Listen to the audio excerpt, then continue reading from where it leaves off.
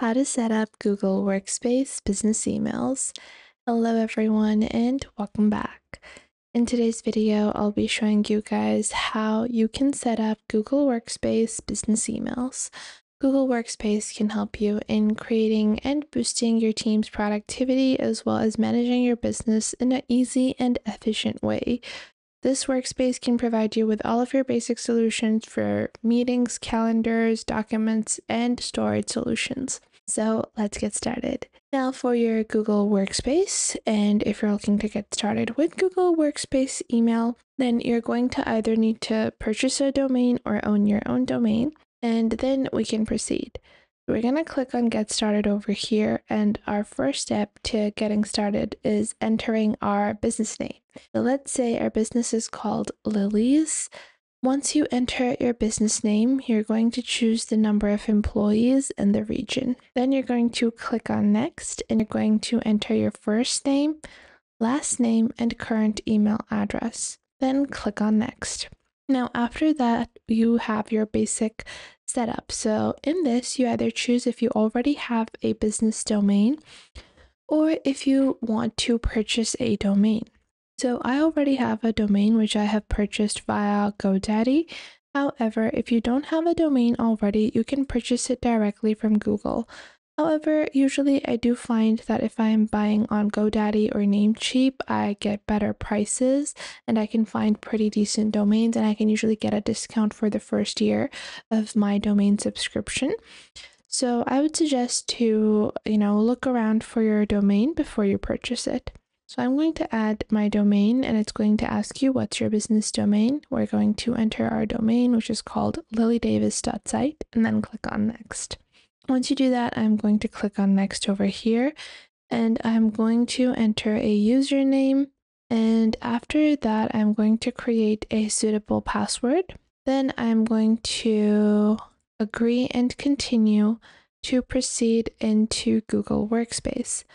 So this is our basic business sign up. We can go into Google Workspace emailing. And once our sign up has been completed, we're going to be led to the Google Workspace checkout. So in this, you have multiple different plans. You have their flexible plan and their annual plan. The annual plan can give you a 10% discount for 12 months, which ends up at $12.60 per user per month. And their flexible plan is $15.12. Now you get a 14 day free trial, so you don't have to worry about paying right away. You can proceed and then agree and check out. Once you do that, you're going to be led to the next page, which is going to be your address line as well as your credit information. So you will have the price for additional users, price turns to $16 per month for all users on uh, 2026. Your first 14 days are no charge, limited to 10 users, and you can cancel anytime. And this recurs at the end of every month.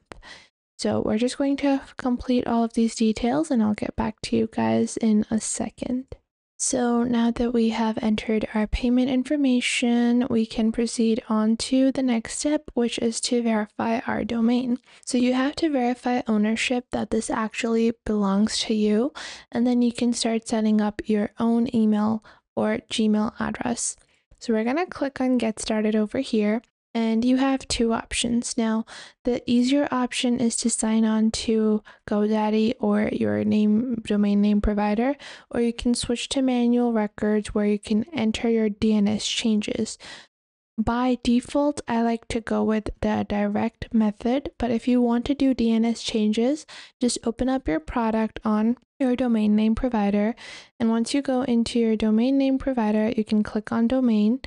Once you go into your domain settings, you're going to see all of your domain information. Then click on Manage DNS and then click on Enter DNS to enter your own DNS setup. I'm going to click on Sign into GoDaddy for a quick and easy verification of my domain name that I have with GoDaddy. So I have my domain connect over here, and then I'm going to click on Connect. And once I click on Connect, this will proceed onto my Gmail setup.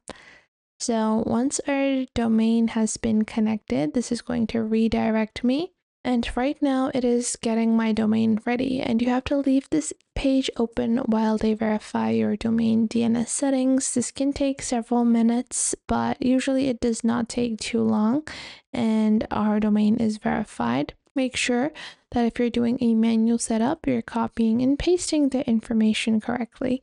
It doesn't matter whatever domain provider you have, if it's GoDaddy, Namecheap, Hostinger, or any other place where you purchased your domain.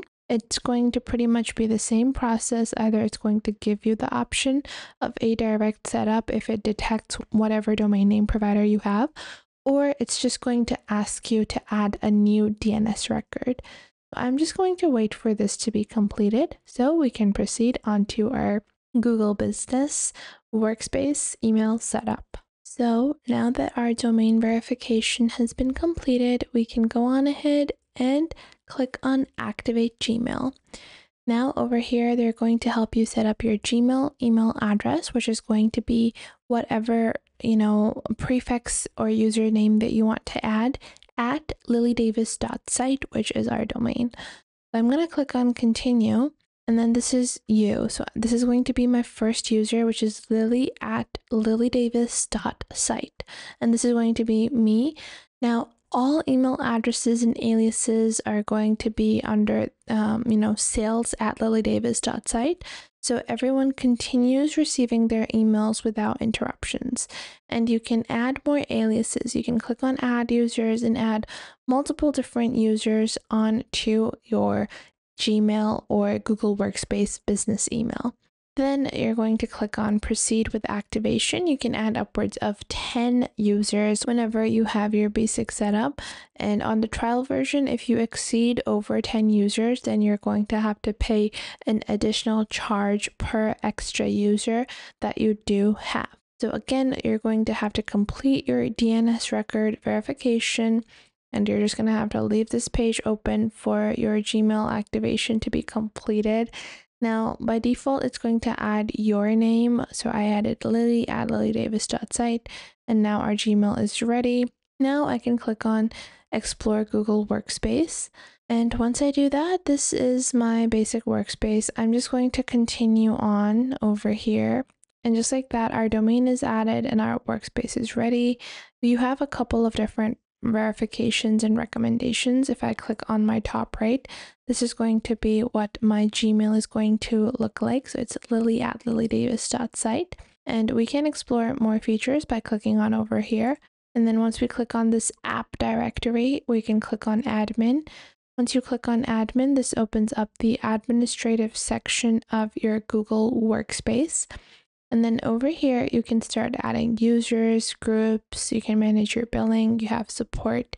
And then on the left, you have a directory, you have devices, other applications, and generative AI.